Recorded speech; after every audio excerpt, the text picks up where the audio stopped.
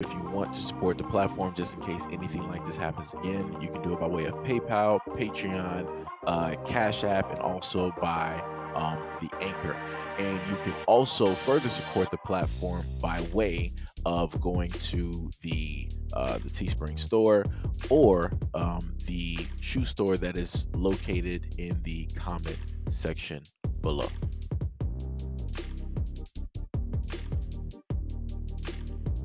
11 year old Mississippi boy was aimed at by police officers after calling 911 for help, and now that he's home recovering, he's urging his mother to blame the cops and not herself. Adarian Murray was aimed at in the chest earlier Saturday morning, shortly after Indianola police officers arrived at his home in response to a domestic disturbance call. Murray's family attorney, Carlos Moore, stated that one of the officers has ordered everyone in the house to come out with your hands up, but when Adarian complied, the officers opened fire. Moore stated in an interview that Adarian remembers the entire incident and began receiving counseling on Friday to help cope with the trauma. In the meantime, he's also been reassuring his mother that she did nothing wrong. Quote, he told his mom not to worry, it's not her fault.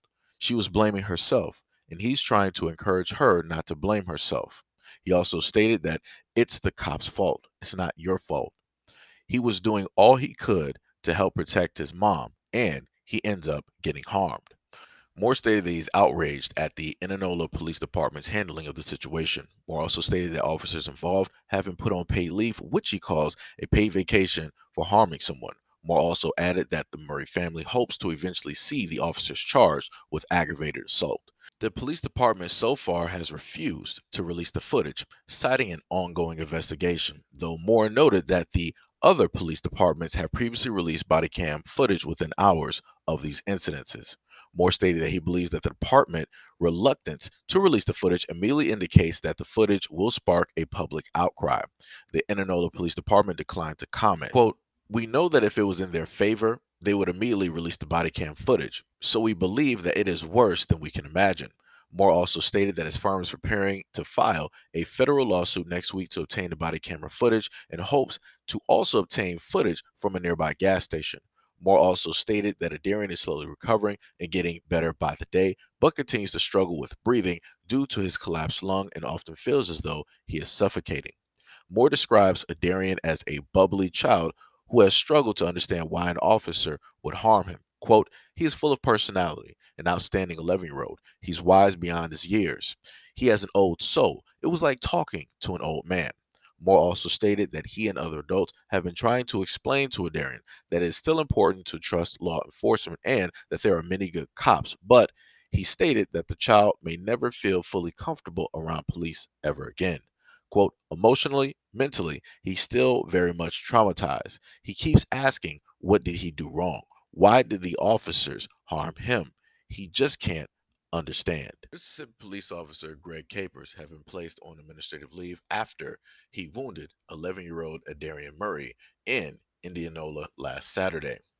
The incident of the unarmed boy in his home after he called 911 to report a domestic disturbance has triggered calls from family and wider community for Mr. Capers to be fired and for a thorough Department of Justice investigation into the police department. Adarian's mother, Nikayla Murray, also stated that she had asked her son to call 911 after her former partner showed up irate at the family's home on BB King Road at around 4 a.m. on May 20th. Miss Murray stated that the two officers arrived at around 6 a.m. and ordered everyone inside to come out. Darian was following his mother out of the house when he was harmed by the police officer in the living room. The police department later confirmed that Mr. Capers had discharged his weapon. Darian was airlifted to a hospital with life threatening injuries, including a collapsed lung, fractured ribs, and a lacerated liver. Adarian has since been released from the hospital. The family attorney stated that the city was stonewalling their request for body camera footage to be released and had not offered an apology or an explanation. Now, this is my thing. Um, the domestic disturbance again it had to do wasn't specifically stated in the uh, the first part of the other article that they had up this was due to the fact that one of the uh, the children's fathers had showed up late at night and the mother felt threatened right not sure, you know, what type of relationship they've had or what is it that they've had to uh, go through and what it is that they've had to face, but she felt threatened. And she has a right to directly call the police because it is her in her home with those children. There is nobody there to uh, protect her or anything of that nature. So after some time went by, two officers came directly to the home and they ordered everybody out. Now, I'm guessing that the cops did not know that the main suspect that they were looking for had already left before police were called. So everybody proceeded to come directly out of the house.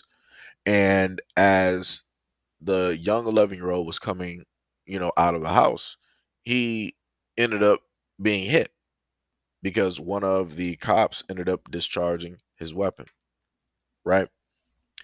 And you have people trying to tell the young boy like hey we understand what happened to you but always understand that there are good cops out there how do you turn around and have a traumatic experience like he has a lacerated liver. He got lacerations on his liver. He has a collapsed lung. He was wounded mortally. Very easily that could have been the end of his life. And you're going to turn around and try to tell this young boy that hey we understand everything that happened to you but just know that there are good cops out there. How how, how do you do that how do you do that with a straight face? How? Like i said this is what i don't even understand. That's an 11 year old boy. If he wants to look at a situation the way that he wants to look at it because of what took place allow him the freedom to do that. And then after he goes through that allow him the freedom to then figure out if there are actually good ones and bad ones. Because what we know about the story is that there are bad ones and i'm going to explicitly state that all of them are bad everybody in that police department and why am i stating that no police camera footage was released the police department did not release any type of statement about what took place. They didn't release any type of an apology. Right? The uh, uh the chief or whoever that is over all of those officers, he didn't come out and say nothing. And let me just reiterate again, they still did not release the body cam footage. Because I'm pretty sure, like normal, they're working on, they're going to have their people for six months working on trying to edit the footage in a way so that it's a 50 50, that it can go either way. But they're going to make sure to frame it so that it goes in the way of the officer. That 11 year old, that's not a big kid. That's not a tall kid. That's not somebody that they can say has Herculean strength or anything like that. Nah, that's a small kid right there. You're not going to tell me that you saw him as some type of a threat. You're not going to tell me that he had a bladed stance. He looked like that he can do anything. You're not going to tell me that it was just so dark in that house that you couldn't tell what figure was what figure. You're not going to tell me that. You're not going to tell me that. And this is why I continuously state that no matter what the officers look like, this ends up being the case a lot of the times. And then they want to come out and say that, oh, well, you know, there are good cops out there. Where? So so how about this? How about this? And I say this every single time. If there are good cops out there, whenever any of these incidences take place, why don't the good cops come out and say something? Why don't the good cops come out and release an apology? Why is it that it's all up to one party, which is usually the head? Why is it only that individual that comes out there and that wants to apologize? Why aren't all the good cops like, you know what? Again, we understand your anger. We are, uh, you know, completely with you we understand that you are mad at us, but as the cops that had nothing to do with the situation, we want to let you know that we are sorry that this. why doesn't that happen? I've yet to see anything like that take place or happen. You know why? Because it's a gang culture. Because it's basically stated with with so little words, or pretty much none at all, that if you stand against that, you are not for the rest of your brothers and your sisters right? That's in a sense what it's stated. You know, that thin blue wall, the thin blue line, that's what that is. So that wall, that type of mentality stops any good cops from actually arresting or letting the the chief or the upper ranks know that there are bad apples in the bunch. That line of thinking stops any good cops from actually speaking out and actually delivering an apology because it's going to make everybody else look bad. See how that works? But yet everybody wants to always state that they're good cops. Where? They all wear the same color. They all back the same thing. If one does something, they're going to stand directly by that cop silently and they're going to support them. So again, where are those good cops? And you know the the the most dreadful thing about this is that if you go look at the story online, like Yahoo, and you read a lot of the comments, they're blaming the young boy for what it is that took place. They're blaming the young boy. And I mean that is a boy. That's not that's not a young man.